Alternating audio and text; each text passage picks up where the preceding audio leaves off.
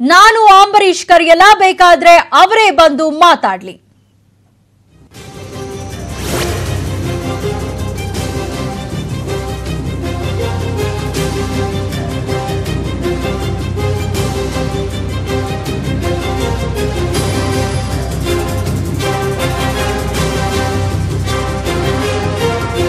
ನಾನು ಅಂಬರೀಷ್ ಅವರನ್ನ ಕರೆಯಲಾಗಬೇಕಾದ್ರೆ ಬಂದು ಅವರೇ ಮಾತಾಡ್ಲಿ. ಟಿಕೆಟ್ ಕೊಟ್ಟಾಗಿದೆ, ಎಲೆಕ್ಷನ್ಗೆ ಸ್ಪರ್ಧೆ ಮಾಡೋದು ಬಿಡೋದು ಅವರಿಗೆ ಬಿಟ್ಟಿದ್ದು ಅಂತ. ಮೈಸೂರಲ್ಲಿ ಅಂಬರೀಷ್ ಕೆ ಸಿಎಂ ಸಿದ್ದರಾಮಯ್ಯ ಮಾಸ್ಟರ್ ಸ್ಟ್ರೋಕ್ ಕೊಟ್ಟಿದ್ದಾರೆ. ಮೈಸೂರಲ್ಲಿ ಸಿಎಂ ಸಿದ್ದರಾಮಯ್ಯ ವಿಚಾರಕ್ಕೆ ಸಂಬಂಧಪಟ್ಟ ಹಾಗೆ ಮಾತನಾಡಿದ್ದು, ಅಂಬರೀಷ್ ಹಠ ಹಿಡಿದ್ರೆ ಮಂಡ್ಯ ಕಾಂಗ್ರೆಸ್ ಟಿಕೆಟ್ ಯಾರಿಗೆ ಸಿಗುತ್ತೆ? ಅಂಬಿ ಜೆಡಿಎಸ್ ಸೇರೋಕೆ ಅಂತಾನೆ ಹೀಗೆ ಹಠ ಮಾಡ್ತಿದ್ದಾರಾ ಅನ್ನುವಂತಹ ಒಂದು ಅನುಮಾನ ಕೂಡ ವ್ಯಕ್ತ ಆಗ್ತಾ ಇದೆ.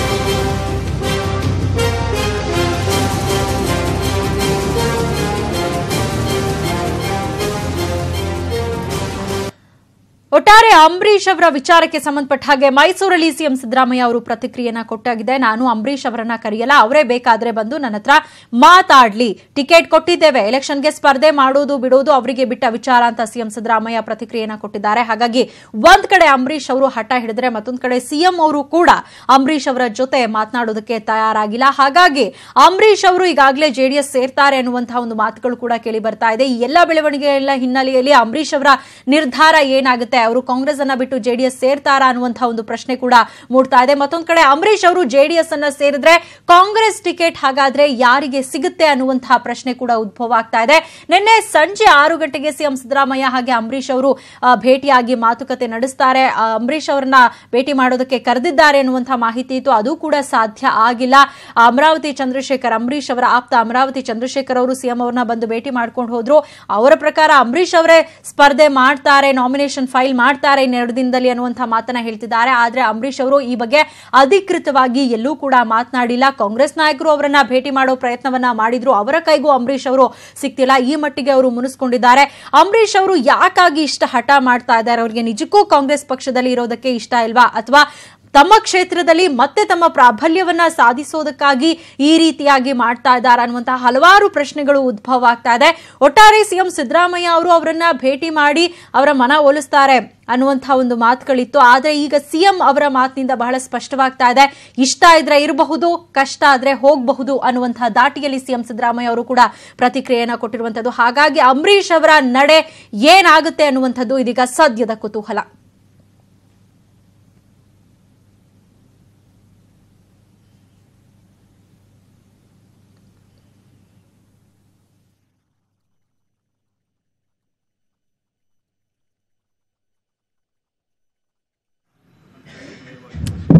ರಿಯಾಕ್ಟ್ ಮಾಡಲ್ಲ. ರಿಯಾಕ್ಟ್ ಮಾಡಲ್ಲಪ್ಪ. ಅವ್ರ ಮನೆಗೆ ಹೋಗಿದ್ದಾಗ ಅವರು ಇಲ್ಲೇ ಇರ್ತೀನಿ ಅಂತ ಹೇಳಿದ್ರು. ಈಗ ರಾಜೀನಾಮೆ ಕೊಟ್ಟಾರೆ ಪ ಅವ್ರ ಪಾಪ it is for him to take it ಇಶ್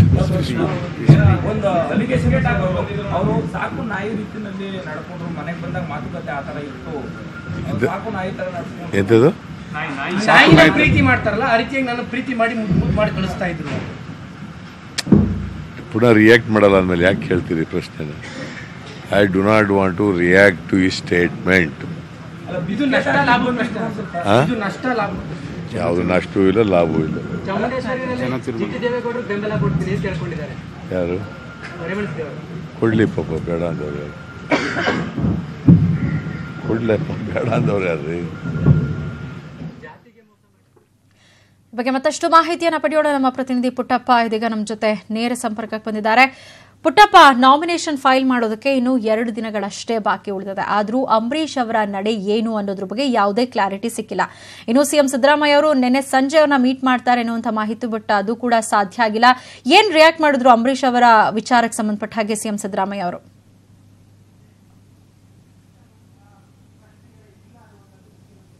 ಸೌಮ್ಯ ಏನು ಮೈಸೂರಿಗೆ ಆಗಮಿಸಿದಂತ ಸಿಎಂ ಸಿದ್ದರಾಮಯ್ಯ ಅವರು ಮೊದಲಿಗೆ ಅಂಬರೀಷ್ ಅವರ ವಿಚಾರಕ್ಕೆ ಪ್ರತಿಕ್ರಿಯೆಯನ್ನು ನೀಡಿ, ಅಂಬರೀಷ್ ಅವರಿಗೆ ಟಿಕೆಟ್ ಅನ್ನ ಕೊಟ್ಟಾಗಿದೆ, ಅವರು ಸ್ಪರ್ಧೆ ಮಾಡೋದು ಮತ್ತು ಬಿಡೋದು ಎರಡೂ ಅವರಿಗೆ ಬಿಟ್ಟ ವಿಚಾರ.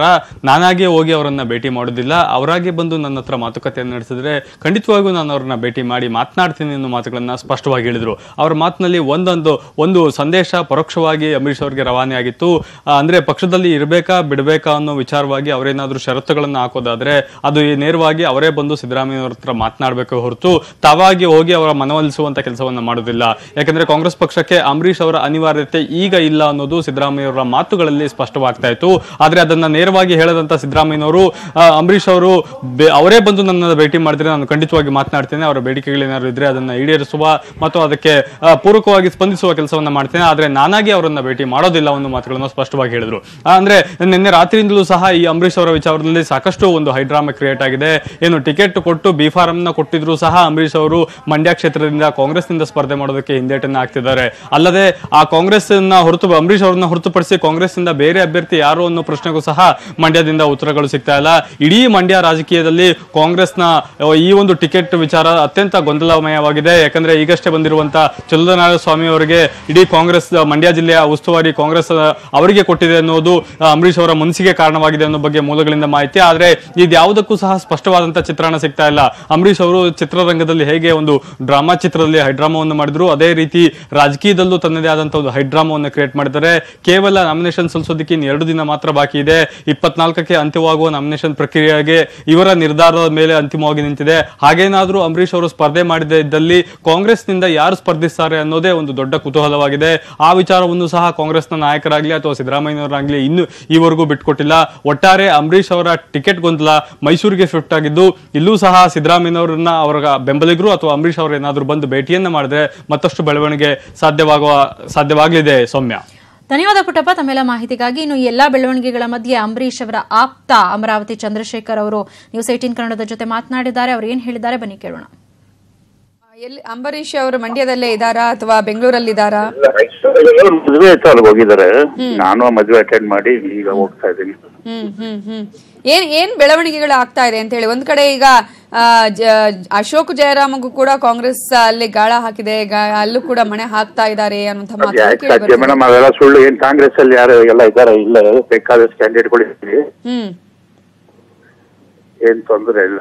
ಹ್ಮ್ ಹ್ಮ್. ಅಂದ್ರೆ ಅಂಬರೀಷ್ ನಿಲ್ಲೋದು ಪಕ್ಕಾನಾ ಹೇಗೆ? ಖಂಡಿತ ನಿಲ್ತಾರೆ. ನಿಲ್ತಾರೆ. ಅಂದ್ರೆ ಈಗ ಕೊನೆ ಕ್ಷಣದಲ್ಲೂ ಯಾವುದೇ ಬದಲಾವಣೆ ಇಲ್ಲ. ಯಾವ ಬದಲಾವಣೆ ಏನಿಲ್ಲ. ಬದಲಾವಣೆ ಆದ್ರೆ ನಾನ್ ಕ್ಯಾಂಡಿಡೇಟ್ ಆಗ್ತೀನಿ. ಹ್ಮ್ ಹ್ಮ್ ಹ್ಮ್. ಅಂದ್ರೆ ಈಗ ಜೆಡಿಎಸ್ಗೆ ಹೋಗ್ತಾರೆ ಅನ್ನುವಂತ ಮಾತುಗಳು ಕೇಳಿ ಬರ್ತಾ ಇದೆ ಅಂಬರೀಷ್ ಅವರು. ಸುಳ್ಳು ಸುದ್ದಿ ಸುಳ್ಳು ಸುದ್ದಿ ಅಂದ್ರೆ ಈ ಮಾತುಕತೆ ಆಗಿರೋದು ಹೌದಾ? ಸುಳ್ಳು ಅದೆಲ್ಲ. ಅಂದ್ರೆ ಮಾತುಕತೆನೂ ಆಗಿಲ್ಲ? ಖಂಡಿತ ಇಲ್ಲ. ಹ್ಮ್. ಬಾದಾಮಿಯಿಂದ ನಾನು ಸ್ಪರ್ಧೆ ಮಾಡ್ತಾ ಇದ್ದೇನೆ ಅಂತ ಮೈಸೂರಲ್ಲಿ ಸಿಎಂ ಸಿದ್ದರಾಮಯ್ಯ ಘೋಷಣೆ ಮಾಡಿದ್ದಾರೆ.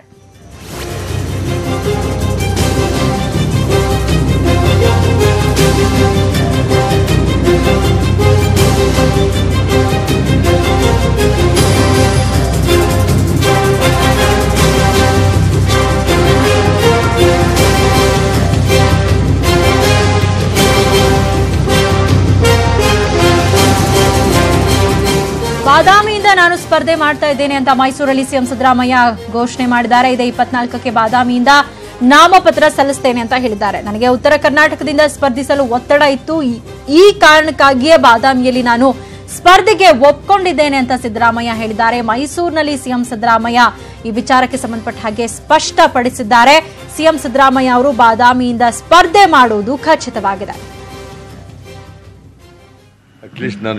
ಉತ್ತರ ಕರ್ನಾಟಕದಲ್ಲಿ ನಿಲ್ತಾ ಇದ್ದೀನಿ ಪಕ್ಕ ಪಕ್ಕದಲ್ಲಿ ನಿಂತ್ಕೊತಾ ಇದ್ದಾರೆ? ಎಲ್ಲಿ? ಯಾರು? ಅವ್ರು ಹೇಳೋ ಆ ಥರ ಸಣ್ಣ ರಾಜಕೀಯ ಮಾಡೋಕ್ಕೆ ನಂಗೆ ಬರಲ್ಲ. ಮಾಡಬಾರದು ಹಂಗೆ. ಹಾಗಾದ್ರೆ ನರೇಂದ್ರ ಮೋದಿ ಎರಡು ಕಡೆ ಯಾಕೆ ನಿಂತಿದ್ರು? ವಾರಣಾಸಿನಲ್ಲಿ ಮತ್ತೆ ಇನ್ನಲ್ಲಿ? ಹಾಂ ಗುಜರಾತ್ನಲ್ಲಿ ಸೋತ್ಬಿಡ್ತೀನಿ ಅಂತ ಹೋಗಿದ್ರ? ವಾರಣಾಸಿಗೆ? What is the answer for them? What is their answer to this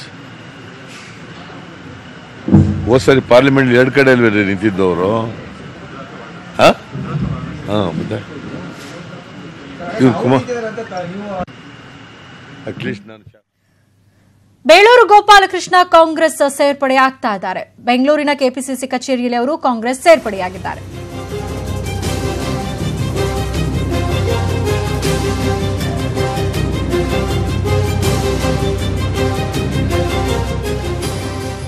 Beluru Gopalakrishna ಕೊನೆಗೂ ಕೂಡ ಕಾಂಗ್ರೆಸ್ ಸೇರ್ಪಡೆಯಾಗಿದ್ದಾರೆ. ಬೆಂಗಳೂರಿನ ಕೆಪಿಸಿಸಿ ಕಚೇರಿಯಲ್ಲಿ ಕಾಂಗ್ರೆಸ್ ಸೇರ್ಪಡೆಯಾಗಿದ್ದಾರೆ. ಬಿಕೆ ಹರಿಪ್ರಸಾದ್, ದಿನೇಶ್ ಗುಂಡೂರಾವ್ ಸಮ್ಮುಖದಲ್ಲಿ ಬೇಳೂರು ಗೋಪಾಲಕೃಷ್ಣ ಕಾಂಗ್ರೆಸ್ ಸೇರ್ಪಡೆಯಾಗಿದ್ದಾರೆ. ಸಾಗರದಲ್ಲಿ ಕಾಗೋಡು ತಿಮ್ಮಪ್ಪ ಅವರ ಬೆಂಬಲಕ್ಕೆ ಇದೀಗ ಬೇಳೂರು ಗೋಪಾಲಕೃಷ್ಣ ಅವರು ನಿಂತಿದ್ದು, ಹರತಾಳು ಹಾಲಪ್ಪ ಅವರನ್ನ ಸೋಲಿಸೋದೇ ನನ್ನ ಗುರಿ ಅಂತ ಬೇಳೂರು ಈ ಸಂದರ್ಭದಲ್ಲಿ ಹೇಳಿದ್ದಾರೆ.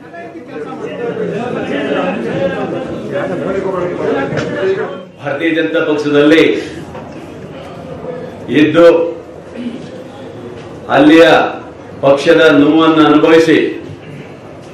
ಇವತ್ತು ಯಾವುದೇ ಷರತ್ತಿಲ್ದಂಗೆ ಗುಂಡೂರಾವ್ ಸಾಹೇಬ್ ಹೇಳಿದಂಗೆ ಯಾವುದೇ ಷರತ್ತಿಲ್ದಂಗೆ ಜಿಲ್ಲೆಯಲ್ಲಿ ಕಾಂಗ್ರೆಸ್ ಪಕ್ಷ ತರಬೇಕಂತ ಉದ್ದೇಶ ಇಟ್ಕೊಂಡು ಇವತ್ತು ಇಲ್ಲಿ ಬಂದಿದ್ದೇನೆ. ರಾಜ್ಯದಲ್ಲಿ ಮತ್ತೆ ಕರ್ನಾಟಕದಲ್ಲಿ ಕಾಂಗ್ರೆಸ್ ಸರ್ಕಾರ ಬರಬೇಕು. ಬಿಜೆಪಿಯ ತತ್ವ ಸಿದ್ಧಾಂತಗಳೆಲ್ಲ ಬೋಗಸ್. ನಂಬಿಕೆಗೆ